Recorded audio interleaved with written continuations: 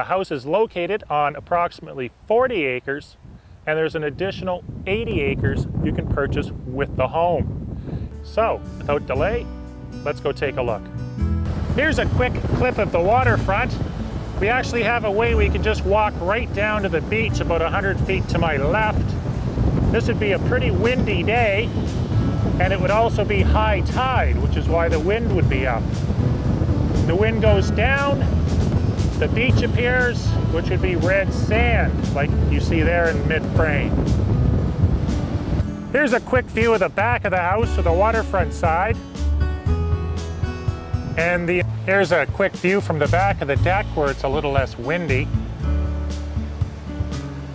As you can see, your views are completely unobstructed on this 40 acre parcel with, again, like I said, there's an option on an additional 80 for a total of 120 approximately. Coming in through the front of the house, we have this study which could be used as an office. It has built-in bookshelves and it has glass French doors. And across the hallway from there is this formal dining room, again at the front of the house, and protected with French doors.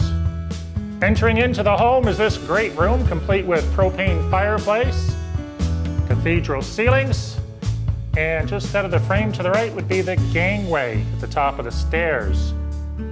Next, in the waterfront side of the house towards the west, we have this fabulous kitchen, complete with wine rack there to the left.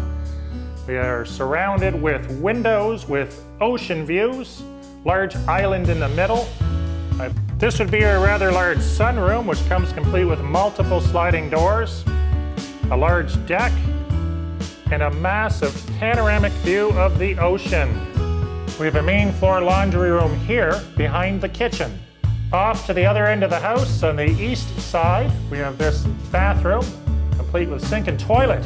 Now at the end of the hall or the northeast corner of the house, we have an office which sees the ocean, a propane fireplace there to the left, a large space for your king-size bed surrounded by windows, and then to the right we have a hallway that leads to two walk-in closets and the main floor ensuite.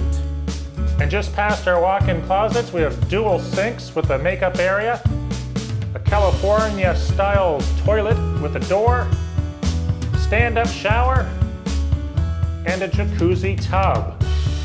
East of Cablehead East and 30 minutes from downtown Charlottetown, Prince Edward Island, Canada.